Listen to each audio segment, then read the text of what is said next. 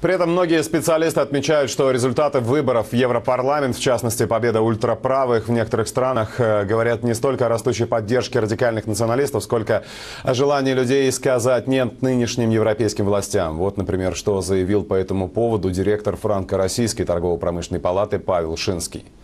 Это очень э, волнительный, тревожный сигнал по отношению к нынешней власти, потому что, безусловно, люди не столь голосовали за экстремистов, сколько против существующего строя. И к этому протестному голосованию, конечно, стоит прислушиваться. Интереснее будет наблюдать, кто сменит господина Бароса во главе Еврокомиссии, кто придет на смену леди Эштон, и как э, результаты другого важного голосования минувших дней, э, голосования на Украине, э, скажется на ближайшее время в геополитической обстановке.